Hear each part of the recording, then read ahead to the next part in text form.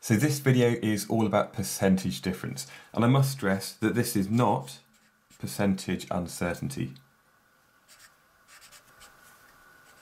So hopefully that's clear. Now, in order to work out the percentage difference, what you need is the following equation. So let's give an example to show what we mean.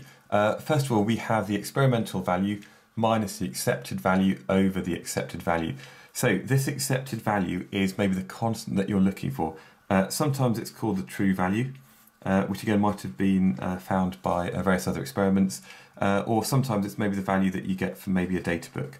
Um, now, an example of this might be perhaps you're measuring the acceleration due to gravity.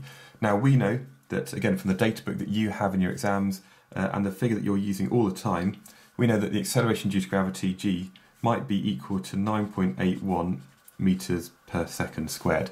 So this is our accepted value for the gravitational field strength on the Earth's surface.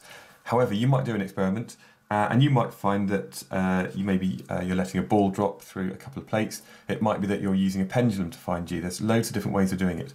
But you might find that your value of g is equal to 10.35. Now this is not the same, but how close is that to the true value?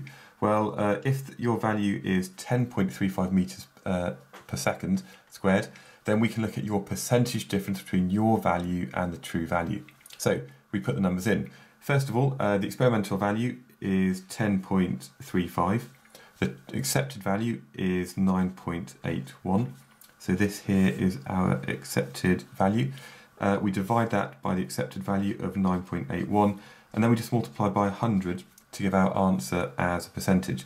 And if we do that, uh, we find that the percentage difference in this case is going to be equal to 5.50%.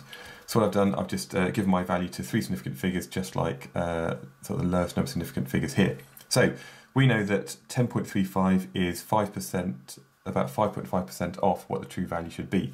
And therefore, this maybe gives us an estimation of how accurate our experiment might be. Remember, the closer your value to the true value, uh, the more accurate your experiment.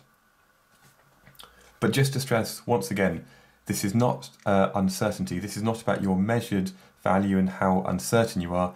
This is about the percentage difference between your value and the true value.